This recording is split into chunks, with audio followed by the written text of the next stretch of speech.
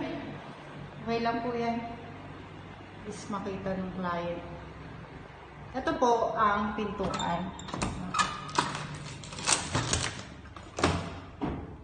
So, meron siya.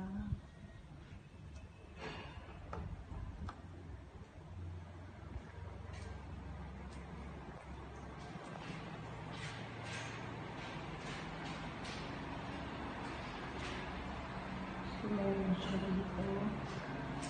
So, CR Marto Mason Ito na po yung actual takeover niya. So,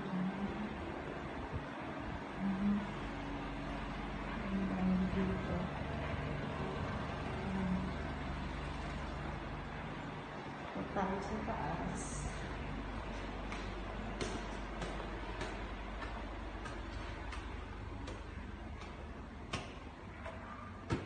So, common CR sa taas. Isang kwarto.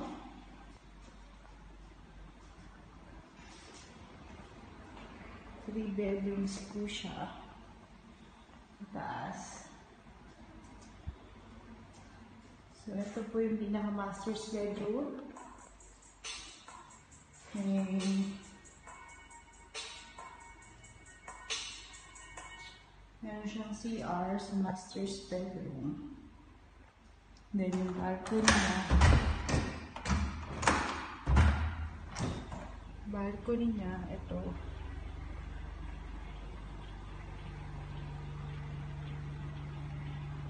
Hindi na po siya.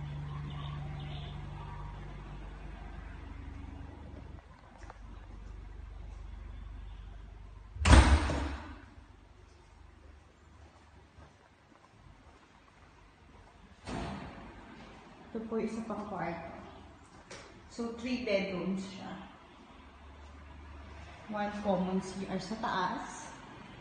Nasa baba na pa. Yan po ang kanyang